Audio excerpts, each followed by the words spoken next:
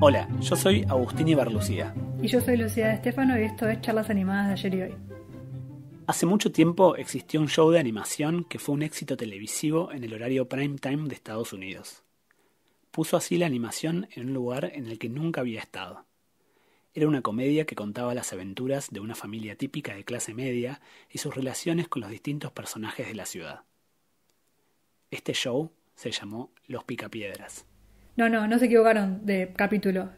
El día de hoy vamos a hablar sobre los Simpsons.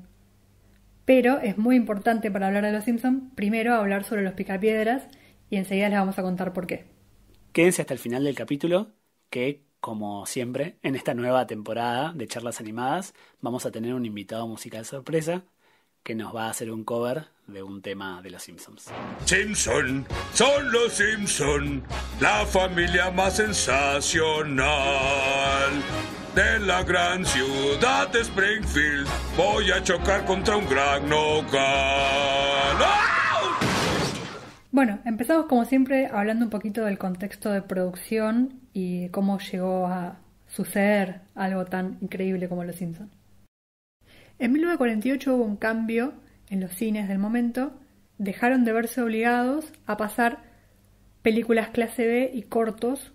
Lo que pasaba hasta el momento es que como las películas eran continuadas, se pasaba una película principal y una clase B y eso generaba mucha industria de justamente estas películas clases B y sobre todo cortos animados que se pasaban antes de las películas. Muchos estudios de animación de la época se desarmaron y se empezaron a, no saber qué hacer con esos cortos que, ya estaban producidos o que estaban por producirse. Y casualmente la década de los 50 fue cuando empezó a nacer la televisión. Entonces muchas de estas animaciones se mudaron a la pantalla chica. Dos animadores que se quedaron sin trabajo en el momento por, por estas mismas razones eran William Hanna y Joseph Barbera, de los que ya hablamos en un capítulo anterior, en el capítulo de Cartoon Network. Si no lo escucharon, pueden ir a escuchar eso, donde hablamos mucho de, los inicios de la producción animada en televisión. Pero si no, con, con saber esto les alcanza para este capítulo. Obviamente son los dos eh, creadores de Hanna-Barbera y los que crearon en 1960 una sitcom animada apuntando a un público más adulto. Esta serie se llamó Los Picapiedras y seguramente la conocen. En 1960, la cadena ABC de Estados Unidos estaba buscando llenar el horario prime time. El horario prime time es el horario principal en el que se garantizan más cantidad de audiencia. Entonces, apostaron, para poder diferenciarse de las demás cadenas, a un contenido de animación. Esa sitcom animada fueron Los Picapiedras y fueron un éxito enorme para la cadena. Esta serie estuvo basada en otra serie anterior que se llamaba Los Honeymooners, que sería como los que vienen de luna de miel, que era una sitcom donde una pareja de recién casados no se llevaba tan bien o tan amorosamente como se esperaba. Pero obviamente, al final de cada capítulo, había una moraleja, había un, eh, un retorno al status quo y una enseñanza como una máxima sobre la vida en el que los personajes volvían a estar en, ese punto de amor. Los Picapiedras duraron hasta 1966 al aire y generaron a su alrededor un montón de otras series animadas que intentaron un poco colgar de la popularidad que tuvo el programa. Cuando los Picapiedras terminaron en 1966 y se pasó un poco la popularidad del momento de las series animadas, pasaron más de dos décadas hasta que otra serie animada volvió a poner a la animación en el centro de la atención y esa serie fue obviamente Los Simpson en 1989.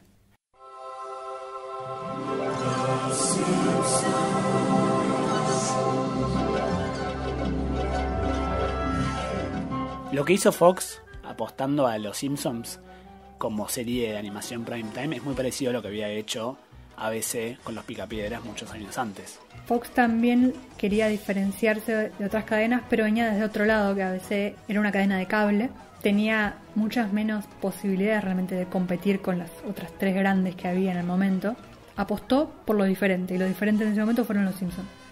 Pero ¿cómo aparecieron los Simpsons en un principio? ¿De dónde salieron? En 1987 había un programa de variedades, comedia que pasaban en Fox que se llamaba The Tracy Ullman Show. Uno de sus productores, James L. Brooks, decidió empezar a pasar entre sketch y sketch de comedia eh, unos cortos animados. Y le, se los encargó a otro tal Matt Groening. Le pidió que hiciera unos cortos animados basados en un cómic que publicaba, que se llamaba Life in Hell, que eran estos conejos con cara de, bueno, de Simpson. y bueno, salieron varios cortos que si los vemos hoy en día tienen... Se puede ver claramente el gen de los Simpsons. Totalmente. Después de que el show de Tracy Ullman se terminó, un par de años después, se acercaron a la cadena con una propuesta de ¿por qué no agarramos estos cortos animados que tuvieron bastante éxito y la gente empezaba a hablar mucho sobre ellos y los volvemos una serie de media hora, una sitcom animada de una familia amarilla? sí, y entonces se asociaron James L. Brooks y Matt Groening con un tercer escritor llamado Sam Simmons. Sam Simmons era el único de los tres que eh, tenía un background en animación. Si bien había dicho que Matt Groening le habían encargado los cortos animados, él no sabía nada realmente de animación. Se había encargado del diseño de los personajes y de escribir los chistes y más o menos los guiones, pero la animación en sí le había hecho un estudio que se llama Claxi Supo, que tal vez lo conozcan porque es el estudio que hizo los Rugrats. Y que si ven esos cortos de ese momento, tienen como un estilo de animación como movediza y tembleque que tiene algo de los Rugrats. Sam Simmons, además de tener una preparación en animación, había sido escritor de muchas sitcoms conocidas y populares de los 70s y 80s. Entonces, Sam Simmons fue el tercero en esta tríada que construyeron a los Simpsons como los conocemos hoy en día. Eh, uno es el creador eh, de la idea, que es Matt Groening, otro es el productor, Jamie L. Brooks, y el tercero Sam Simmons, que es un escritor de sitcoms. Y si prestan atención en cada intro, que seguro se de memoria, de Los Simpsons, la tele que se ve en primer plano cuando termina toda la introducción dice eh, que está developed by y aparecen siempre estos tres nombres. A pesar de que hace muchos años que ya no son parte de la serie. Luego de que Los Simpsons ya estuviera siendo transmitido en Estados Unidos, Fox le ofreció el show a Hugo Di Guglielmo, el cabeza del canal El 13, el canal argentino. Pero no le gustó a la emisora y entonces Yankelevich, eh, productor de Telefe, lo compró a un precio mucho más bajo. Compró todos los episodios por 200 dólares cada uno y desde entonces, el 8 de febrero de 1991, que no dejan de pasarse. Alto negocio. Alto negocio. Eh, al día de hoy, las dos cadenas que pasan Los Simpsons en Argentina son Telefe en televisión abierta y Fox en cable. Los Simpsons, estreno, la familia más loca y divertida de la televisión. Este martes a las 9 de la noche. Así se hace, muy bien. Por Telefe.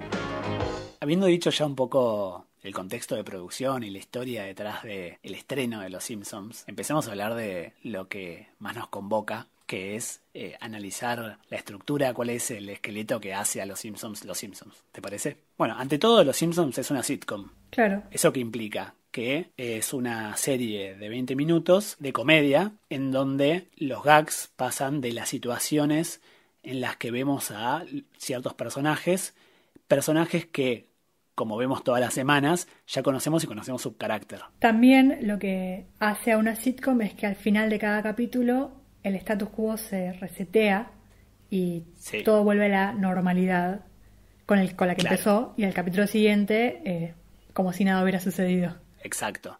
Pero, ¿qué nos pasa con Los Simpsons? Porque antes lo que teníamos era la serie familiar en donde ese retorno al status quo se trataba sobre que los vínculos familiares volvían a reconstruirse, a reconstituirse, y había una moraleja, un mensaje, era una representación y construcción de la, de la familia americana, una oda a la familia americana. Claro, esa familia americana era eh, siempre de clase media tirando alta, sí. era como que vivían en una casa increíble y no trabajaban nunca. Es como Friends. Vemos Friends y decís, ¿cómo pueden tener estos departamentos en Nueva York si eran pibes de 25 años que no trabajaban nunca y se la pasaban tomando café? Tal cual. Las sitcoms apuntaban mucho a eso. Y sobre todo las de familia. Y, estoy hablando de cosas que nacieron en los 50, pero que hasta los 80 todavía estaban muy presentes. Por ejemplo, sí.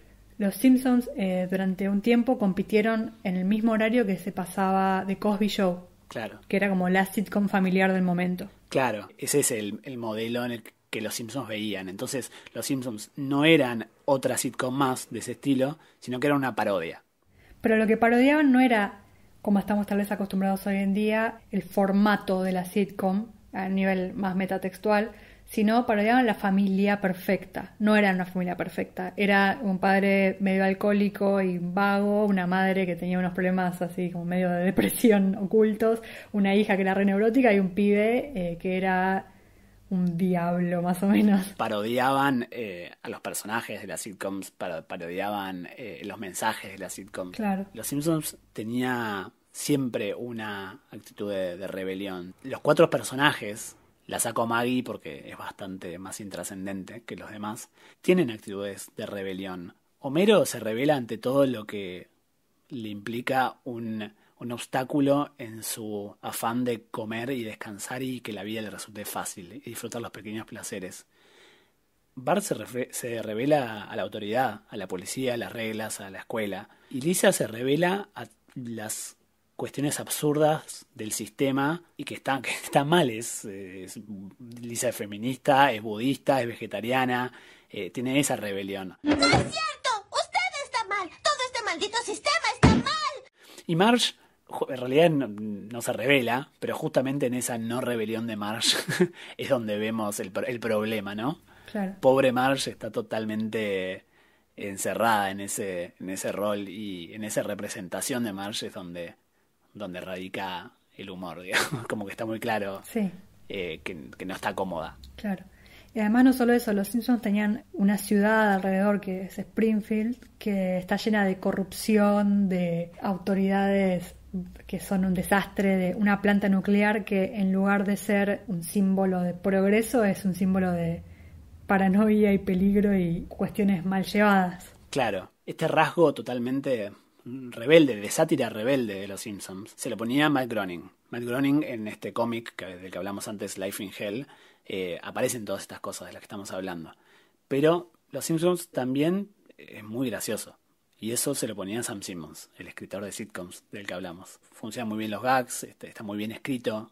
Eh, vamos a hablar de eso un poco más adelante. Y centraba su comedia sobre todo en los personajes. Claro, Sí, en esto que decíamos de, que los personajes tienen rasgos que son inmutables. Eso nos permite saber cómo va a actuar Homero y reírnos como en esa complicidad con el programa también.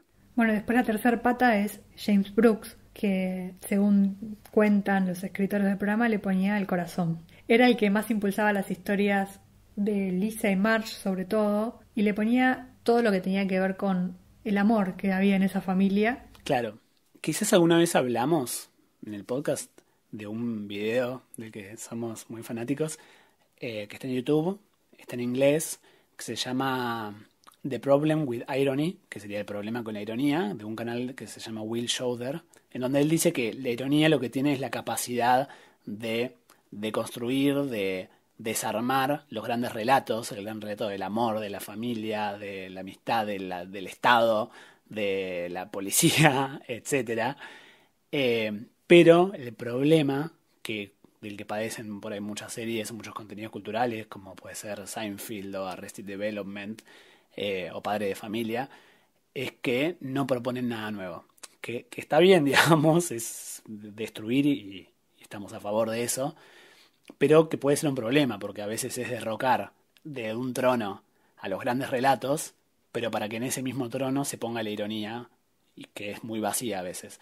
Entonces lo que propone, lo que dice este canal, que en realidad dice, lo dice David Foster Wallace, es eh, como paso siguiente de la ironía está la sinceridad, que es decir, ok, vamos a romper los grandes relatos, pero vamos a reemplazarlos por los vínculos humanos, que son lo que importa y lo que existe. Quizás eh, el gran, un gran único relato del amor no existe, pero sí muchas maneras de amar y, los vínculos humanos eh, suceden y, son muy buenos. Y me parece que eso es lo que tenían los Simpsons, eh, que esa es la pata, que le decimos la pata del corazón, que es que los capítulos quizás desarmaban muchos conceptos de la vida en familia y de la sociedad norteamericana, pero no se quedaban solo en desarmarlo, eh, te volvían a restituir lo que tiene que ver el amor entre los personajes, ¿no? Te quiero, papá Homero. Yo te quiero a ti, Pedro. Pepe. Pepe. Quiero que se queden con esta idea de las tres patas que decimos, que una es la sátira rebelde, otro es eh, la comedia de personajes y la otra es el corazón, para algo que vamos a hablar más adelante en el capítulo, que es el futuro de los Simpsons. Bueno, como decíamos, principalmente Los Simpsons es una comedia, es una sitcom, y se ve mucho esto cuando lees un poquito o escuchas un poquito entrevistas a los escritores. La manera en que se producía y sobre todo se escribían los guiones de Los Simpsons se parecía mucho más a, la manera en que se escriben eh, programas de comedia, por ejemplo, con sketch o, más centrado en los gags, que como se escribe tal vez una serie como hablamos en algunos capítulos del contexto de producción de Hora de Aventura o de los de Cartoon Network, en donde no, no eran grupos tan grandes, se trabajaba en conjunto con Storyboard, la gente de Storyboard y la gente de guion, pero estos eran gente que escribía comedia y se dedicaba a pensar chistes y a reescribirlos 20 millones de veces hasta que fueran completamente graciosos y tuvieran eh, una estructura y, capas interesantes. Y se nota muchísimo eso en, en las temporadas, en las mejores temporadas. Sí, totalmente. Una regla que tenían eh, estos escritores era que a pesar de ser una serie animada, eso no significaba que podía pasar cualquier cosa. Y el ejemplo que ponían era el coyote y el o ese tipo de cartoons de la era Acme, en donde de repente las, leyes de la física se, se desarmaban o, no sé, caía un yunque del cielo, aplastaba un personaje y después estaba bien. Digo, es una serie animada, pero no puede pasar cualquier cosa, son humanos dentro de todo. Y, y sí se valen de ciertos recursos de animación, por ejemplo, si algo explota, quizás no se mueren, eh, o, pueden o Homero puede caer por un precipicio. Claro, bueno, hay una anécdota con ese, ese momento justamente de ese capítulo que no querían hacerlo porque justamente era como demasiado acme la cuestión. Entonces, para que saliera y convencerlos, sí. lo que terminaron haciendo fue ponerle como más sangre a Homero. Está bastante ensangrentado cuando lo vemos llegar al final del precipicio, todo golpeado.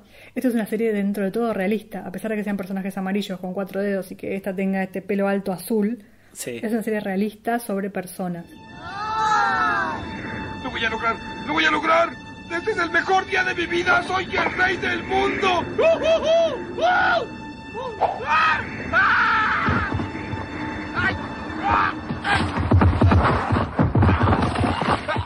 Bueno, y sin embargo hay cosas que la animación le suma a una serie así. Por ejemplo, una de las cosas que hay una muy buena entrevista que se las recomiendo, está en, YouTube, el canal de Conan O'Brien eh, que se llama Team Coco. Conan O'Brien, para los que no saben, eh, fue uno de los escritores de un par de temporadas de Los Simpsons. Bueno, y hace esta entrevista como una mesa redonda con varios de sus compañeros del momento, que incluso hay algunos que siguen trabajando hoy en día en la serie, y hablaban de la libertad que sentían al poder escribir algo de animación que ninguno había hecho antes. Increíble. Es súper interesante eso porque mucho contenido animado, yo pienso en eh, películas, cortos, claro. sale de los animadores. Claro, eran escritores de comedia, muchos habían trabajado eh, o en Saturday Night Live o en, incluso en, ese donde nacieron los Simpsons, el Tracy Ullman Show o en sitcoms. O sea, sabían escribir cosas graciosas. Claro. Pero, eh, bueno, nunca, habían, nunca les había tocado escribir para animación. Y, por ejemplo, hablaban de lo mucho que les gustaba poder escribir una escena, por ejemplo, en un estadio lleno de gente, cosas como que serían muy caras de producir en live action, claro. solamente para hacer un chiste y después no hacerlo nunca más. Nada más porque se podía, porque era animación. Sí. los dibujos animados no tienen que ser 100% realistas. Siempre nos preguntamos acá en charlas animadas qué le aporta la animación a la serie o la película de la que estemos hablando. De los Simpsons, creo que por un lado al ser una, una parodia, nos permite ver lo monstruoso, ¿no? La animación con las exageraciones o con esas caras, esos rostros, eh, que, se permite llegar a una exageración, nos permite ver lo monstruoso, pero al mismo tiempo también se puede exagerar lo monótono. Digo, todos los personajes de Springfield tienen rasgos muy parecidos, todas las casas son todas iguales, eh, los autos, las calles como que permite también una monotonía de, del lugar, a veces de los colores, eh, que también puede ser perturbadora, ¿no? Sí, y creo que permite ver la realidad a través de un lente que nos hace alejarnos un poco, pero a la vez nos hace sentirnos más identificados. Sí. Tal vez lo hablamos ya alguna vez de esta teoría de un muy buen libro que se llama Understanding Comics, que habla de la caricatura simple versus Sí. la caricatura realista. Eh, este libro, escrito por Scott McCloud, que es un historietista y analista de cómics yankee, ahí Scott McCloud dice que nosotros vemos el mundo que nos rodea con perfecto detalle, con nuestros ojos, pero nosotros mismos no nos vemos todo el tiempo y nos imaginamos vagamente cómo es nuestra cara. Nos imaginamos que tenemos dos ojos, una boca y por ahí estamos atentos a la nariz. Eh, y por eso, eh, lo que es la caricatura, podemos por ahí sentirnos identificados con rostros más simples. Piensen en el emoticón, con dos, cari- dos puntitos y una boca. Ya es suficiente para poder empatizar. Eh, a mí me gusta mucho un ejemplo que da, que es el ejemplo de Tintín, que los personajes de Tintín son muy simples, pero los paisajes, el, entonces, los entornos de Tintín son muy detallados. Y eso, ese detalle te genera como una otredad. Eh, el mundo que te rodea es otro, pero los personajes sos vos. Claramente la animación tiene esa capacidad, digamos, to- toma eso de, de los dibujos, de la historieta. Pero al mismo tiempo, como decís vos, no solo nos permite eh, empatizar, también hay algo de ajeno. Digamos, no somos dibujitos. Claro. y y no, no tenemos esa capacidad de moldear nuestro cuerpo, de no morir en una explosión como tienen los dibujitos. Claro. Entonces eh, se les puede poner a, a- a los personajes en situaciones bastante límite, ¿no? Claro, y también esas situaciones límite, eh, cuando decide tratarlas, son bastante menos graves al pasar en, una, Sí. en un dibujito que si pasaran en la realidad. Sí, lo, lo que, lo que estamos diciendo igual es que la animación tiene esta capacidad de poner el- los personajes en situaciones límite, pero lo interesante de Los Simpsons es que no lo hace. Tiene la capacidad, pero no lo hace. Y eso eh, lo vemos, lo percibimos, digamos. Cuando ves eh, Full House, no pensás que el personaje de repente va a explotar el auto. No, no va a suceder eso. Eh, no, no se te ocurre. En cambio, cuando ves Los Simpsons pensás que eso puede suceder, pero tampoco sucede, Claro. ¿no? Sí, también, como creo que hablamos en algún capítulo en el que hablamos sobre Bojack, Bojack Horseman, la animación tiene esa capacidad de poder tratar temas muy delicados o muy controversiales de una manera que no es ni tan seria ni tan poco seria.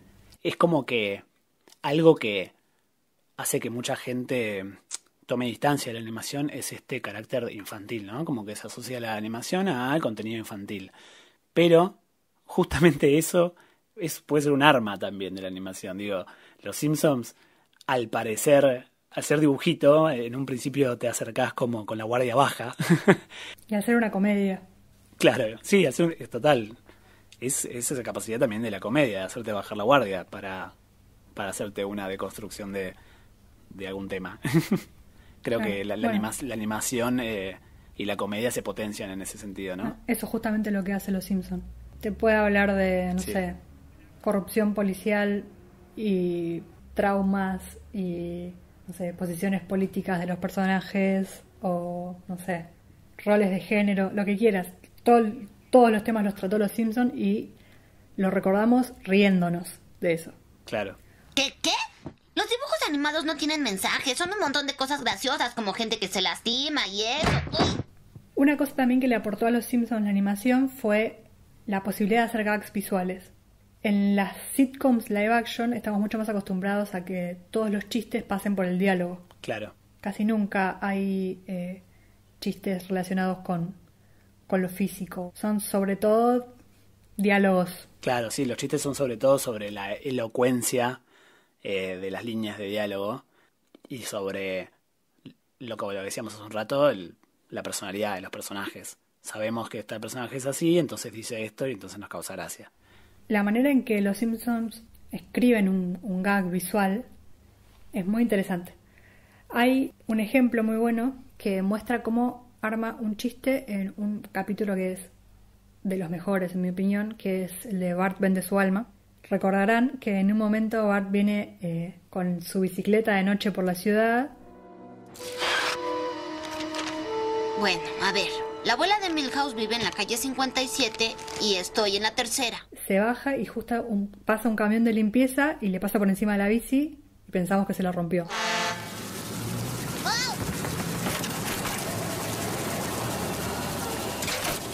Pero la bici sale del otro lado y está limpia. Entonces Bart dice, uy, qué bueno, un poco de suerte al fin. Órale, algo de suerte. Se sube, anda unos pasitos y la bici se desarma por el piso. Y después vemos que el que manejaba el camión se está riendo, lo hizo a propósito, y después de eso el camión entero se cae por unas escaleras del subte.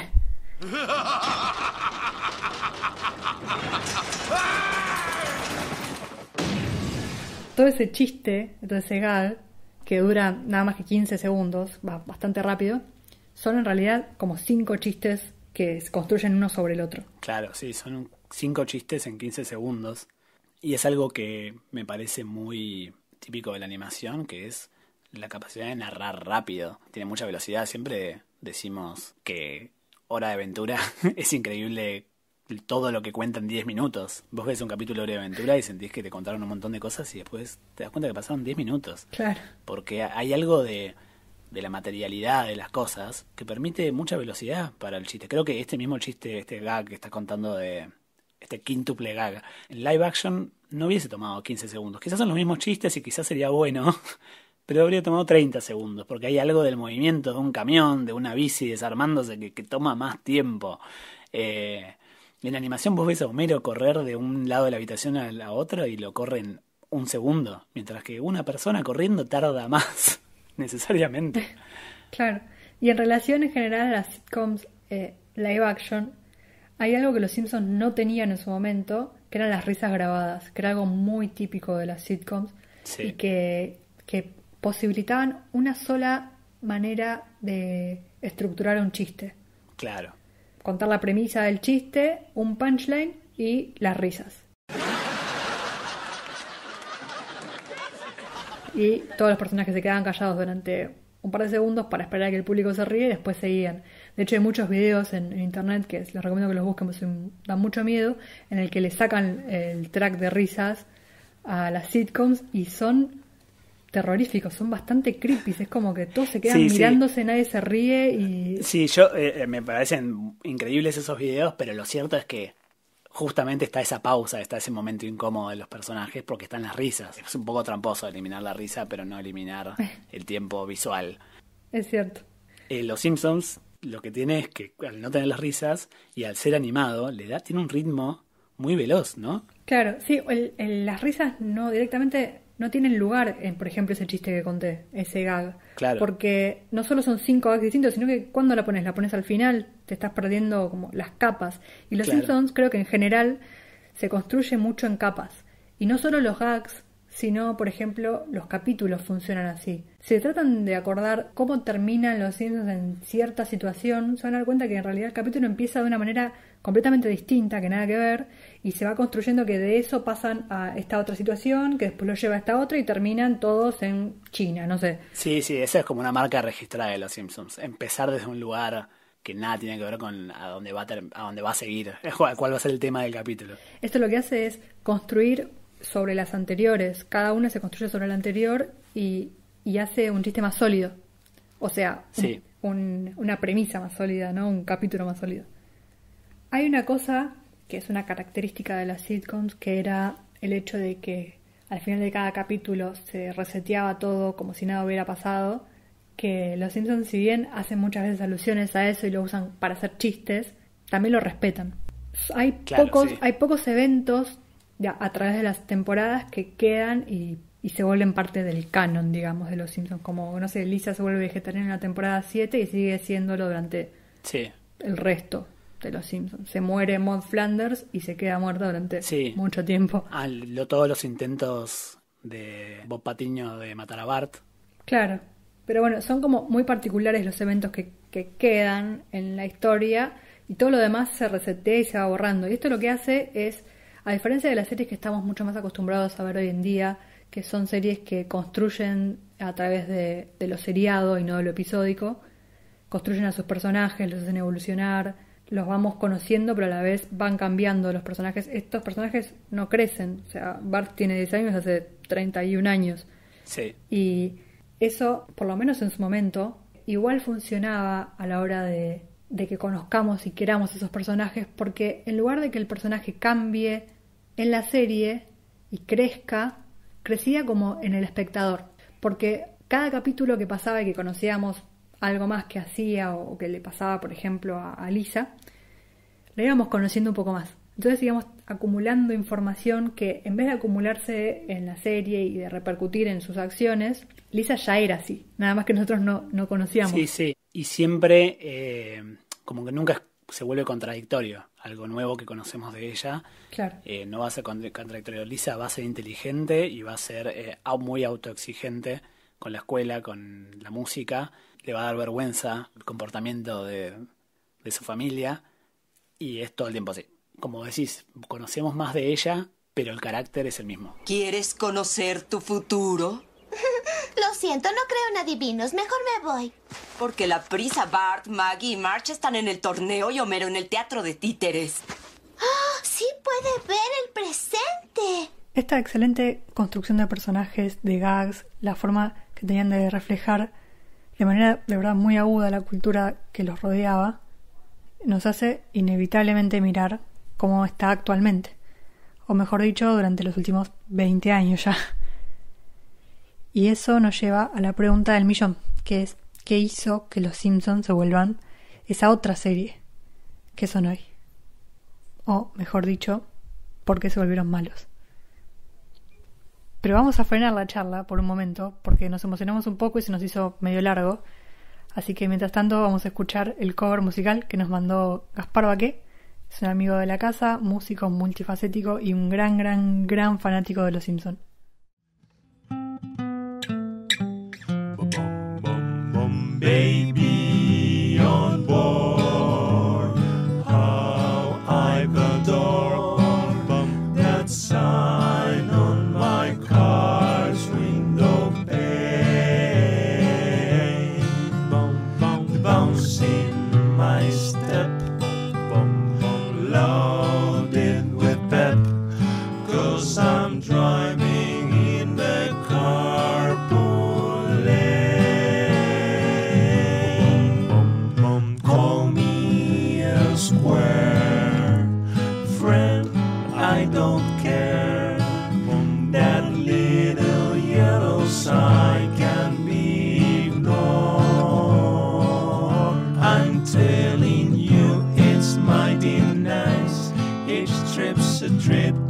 Paradise with my baby on board. Eso fue el éxito de los borbotones interpretado completamente y únicamente por Gaspar Baqué, que como dijimos es un gran fanático de Los Simpson, tanto de hecho que nos mandó no solo uno sino dos canciones. Pero para escuchar la otra y para seguir el resto de la charla van a tener que darle play a la segunda parte de este capítulo, en donde vamos a intentar encontrar las verdaderas razones por las que Los Simpson ya no son lo que eran y analizar una realidad paralela en la que las mejores temporadas aún siguen vivas, que es nada más y nada menos que en el maravilloso mundo de los memes de Internet.